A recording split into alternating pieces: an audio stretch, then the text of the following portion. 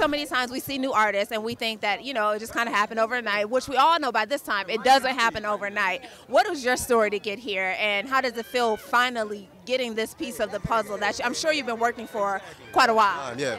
Uh, man, my start putting out a project, Coke Jack and Cadillacs, which was like my start uh, to my label RCA. Mark Pitts finding me and giving me that opportunity to me fast forward putting out my first album, El Dorado.